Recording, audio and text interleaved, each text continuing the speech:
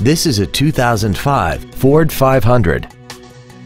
This four-door sedan has an automatic transmission and a 3.0-liter V6.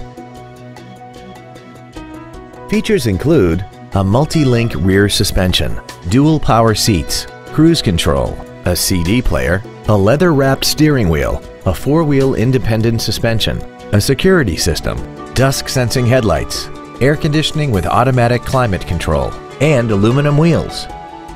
This vehicle is sure to sell fast. Call and arrange your test drive today.